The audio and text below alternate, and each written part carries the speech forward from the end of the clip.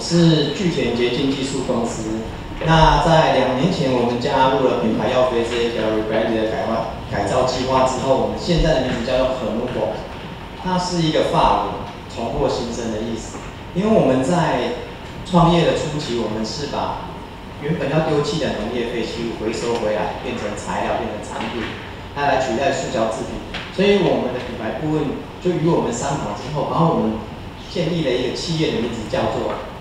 h e n u v o 那这个 h e n u v o 它是法文重获新生的意思。我们算是一个新创，我们今年进入了第五年。那我们公司全部到今年有十四位的员工。那为什么？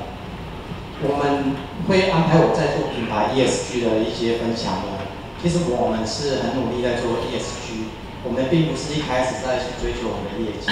那我们每个部门，我们的行销部门、业务部门都是以我们的利害关系人的利益为出发点，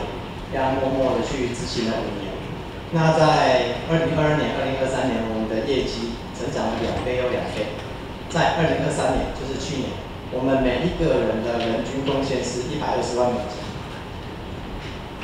所以品牌 ESG 是可以同时照顾到我们的利害关系人，也可以去获取我们要的获利。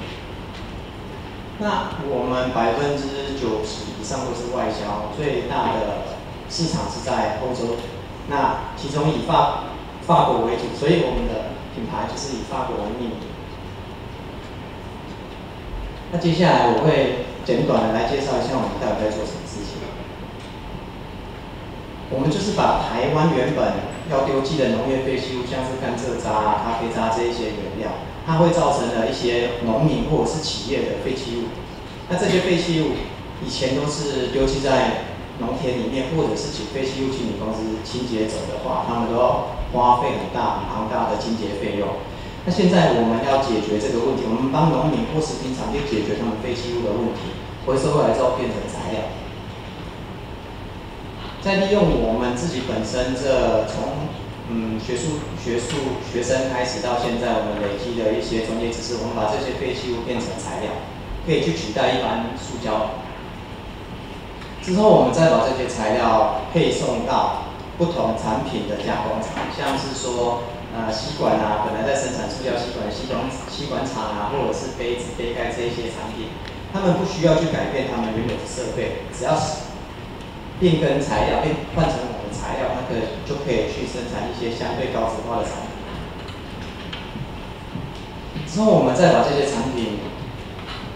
消传到消费者的手上，让他们去感受到说，哎，其实。像我们大家很习惯的便利性的塑胶吸管啊，或者是一次性的产品塑胶袋之类的，也可以用这种植物型比较永续的材料去取代，让他们在保有便利性的同时，又参与了这种有趣的生活。那使用完之后，就可以回到我们的处理系统跟植物相分解掉。在我们在发布的时候，有到一家餐厅，那刚好看到他们有在使用我们这种甘蔗做的吸管。那我们就跟那个厨师说，你这个吸管是我们台湾制造，那时候甘蔗茶做的，他就很开心的带着我们去他的厨房。他说：“你看，你们的东西我用完之后都直接丢在厨余里面，然后就直接拿去做堆肥，直接就不见。”那我们的这种理念跟做法跟环境的责任的影响力，在全世界各国有很多网红啊或明星也很认同我的做法，所以他们就一直在帮我们倡议这样。那以上整个介绍下来，其实，在我们接触品牌品牌要飞这个计划之前，我们的介绍就是这个样子。我们就很像是一个制造业，我们在生产什么东西，我们在贩售商品。那总结看一下，就是说，从一开始，我们就是回收天然的甘蔗渣，然后变成材料，到三变成产品，再外销到全世界各地，到消费者手中。使用完之后，可以在土壤里面自然的分解，但这个过程要有很多的。认证跟验证这样，那其实我们在做的整个事情，我们的品牌顾问扫了卡嘛，他就跟我们说，你知道你们在做的是，呃，SDGs 的十二跟十三吗？你知道你们其实一直在做的事情有很多面向都是在做 ESG 吗？其实我们一开始从创业一直在执行，每个面向都是对着利害关系人，朝着利害关系人有利的方向去进行，像是说我们回收了甘蔗渣。我们这几年帮农民减少的甘蔗渣已经超过两千五百吨。那我们甘蔗渣回收回来之后，我们也不用一些工业的方法去加工它、制造它，我们用最简单的太阳的热度去干燥它，然后把这些工作机会再委托给当地的农民。这几年下来，我们给农民的代工费增加他们额外的收入也超过了七千五百万元。那第二阶段，我们不设新厂。我们去找我们台湾原本很强的传统的加工厂，我们把材料给他，跟他说：，哎，我们来改变一个原料，我们来做出相对环保、有竞争力的产品。那也协助他们有竞争力的产品可以外销到全世界，那也增加他们的代工费，跟提升他们机台的加动力，这是一个共享的概念。那我们会做成吸管一次性的刀叉子或杯盖，这也不是我们设计的，这是欧洲的客户。欧洲的客人说：“你可以提供我一个环保、低碳、可以自然分解，然后碳排放系数最终要到零的产品嘛？”他们需要，所以我们用我们的材料、用我们的技术去生产。所以我们所有的产品都是因为需求，我们才去生产制造。那在消费者使用上，他们非常的，他们其实不知道说他们的，他们使用的吸管啊，这些杯子、杯盖材料变，他们其实不知道，只是后来。他看到我们的，就会发现哇，原来这是甘蔗渣做的，这是咖啡渣做的。他使用完之后，你也不用丢到垃圾桶，不用去回收，你就跟着处理体系，在厨房里面就分解掉就好了。所以，二零二二年很很幸运的，我们参加了品牌要会的的计划，我们的品牌公跟我们讲，厘清了我们的愿景、使命、我们的核心能力。他跟我们说，你们就在做 SDG 的这十二分之三。那接下来我们厘清了很多我们自己对于自己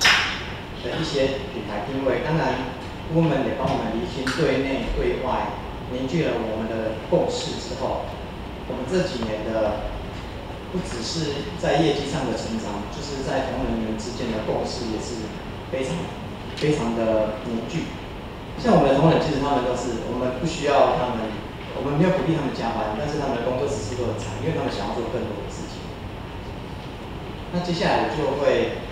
介绍一下，说我们的品牌顾问是怎么把我们商业模式融入到我们的品牌定位里面。这是二零一八年、一九年我们自己做的一个一个品牌 logo，叫做一百 percent 但是我们在在国外参参展的时候，外国人看到他们很喜欢我们的东西。但是看到这些图字，他不知道这是什么东西。所以我们回来之后，他们并找并找不到我们。就算他们想要上，我们必须 Google 我们，他他们也找不到，因为这个字对我们来讲真的太难了。所以我们的品牌顾问就跟我们说：“你最主要是要去外销，需要去宣导你的理念，你必须要有一个很容易让他们找到的名字。”所以二零二二年，我们就在讨论之后，我们的品牌就叫和睦网。它就是从后新生，把一些原本要丢弃的废弃物回收来变成产，变成材料，变成产品，再回到回到一般的大家生活中，然后使用完之后，它要回到土里做一个生物质的循环。那在这个过程，我们的品牌顾问一直跟跟我们在厘清你们的愿景是什么？你们是？卖产品吗？还是销售你们的服务？还是要卖你们的技术？那我们最终最终理清到最后面，原来我们是要成为一个进行碳排放的提供者，我们可以提供很多服务、很多建议。那也是因为这一个我们的愿景厘清了，所以其实我们的商业模式有做了很大的改变。以前我们就是做产品的销售，但从去年开始，我们开始做服务，专业的服务。比如说，我们跟呃风雨，我们跟金色山脉做最初阶段的讨论，我们帮他说，哎，其实你们可以做哪些减碳的、减碳的方式？那在这个对话的过程、讨论的过程，其实我们就会继续账单给他，因为他他得到了他的解决方法，那我们提供了我们的专业，所以我们的顾问是说，其实你在卖你的专业，你就必须收费。那第一个付费的就是广东与升级，他们真的付了一笔顾问费，就是咨询费给我们，所以我们也打开了另外一个商业模式，就是我开始卖我的专业，卖我的建议。那我们的使命分为三块，第一块就是说，我们从我们公司自己做起，我们精进我们的技术，从内部到生产，我们要迈向碳中和。第二个，我们也协助企业做减少碳足迹的一些方案或者是方式，或许不是我们可以达成，我们可能只是呢整个企业做减少碳足迹的一小块。那我们可以协助他来规划说，你们整个企业怎么去减少你的碳足迹，怎么去减少你们的废弃物，迈向零废弃这样。第三个，我们也在这几年，在呃，不管是欧洲啦、美国或台湾的各种这种有趣论坛，我们也是一定都会参加，去分享我们的经验，来做成一个对环境保护的一个倡议者。那我们的品牌承诺，我们的很如果让人家客户看到，就是说我们的品牌承诺就是我们要用再生的资源，像是植物性的材料来再应用，来取代石化的材料产品。那同时，我们也启发每一位消费者来做他生活上的一些小改变。那接下来我就介绍说，那么他帮我们来做了哪些品牌的优化跟品牌的形象。但一开始就是最基本的 CSR，这是我们在创立品牌之前的一些样品包装。可以看到说，我们的刀叉匙啊、杯子啊、吸管，其实还是用这种塑胶袋在包装。然后寄出的时候，就是我们去买公版纸箱寄给国外的客户。所以在国外的客户收到我们样品之后，他还不知道我们的产品或能力之前，他的印象分数就很低。我们也收到很多客人跟我们说：“你们能不能不要用塑胶袋？”那现在这是品牌设计后，我们主 B 的纸盒，它是有由蔬菜油墨，然后我们设计到说，我们把里面的塑胶袋拿掉，我们是用纸盒的设计去做到防尘防腐的效果。所以整个纸盒的整个碳足迹我们都计算进去了。那这是 To C 的整个关于品牌的设计、零售的包装。它上面有规格，那你看到的尺寸就是里面的尺寸。它右上角有一个不同规格，它连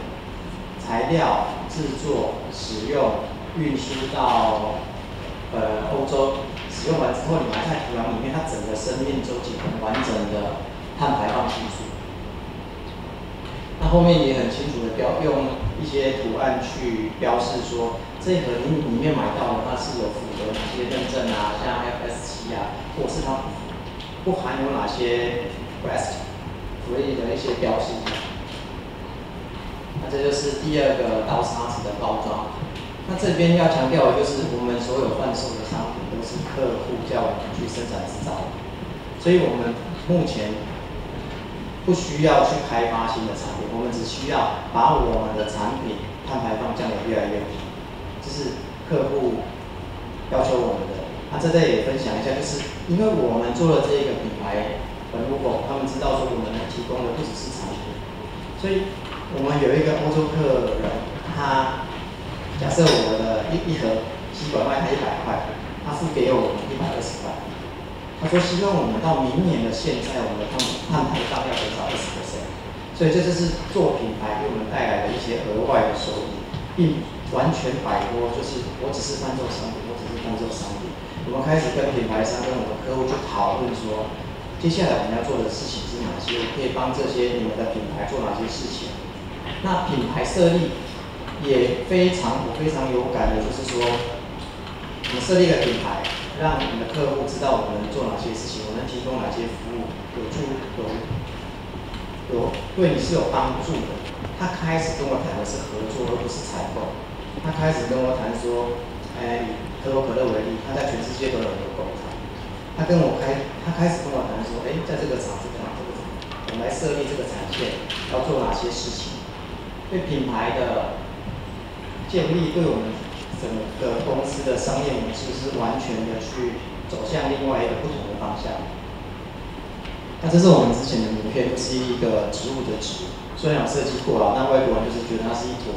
不知道是什么名字的。好，这是我们现在的一个很清楚的，就是一个重构形成横波的名片。那有一个标语就是说我们要努力做一个健康碳排的世界。那以前我们参展就是这样，找了五张，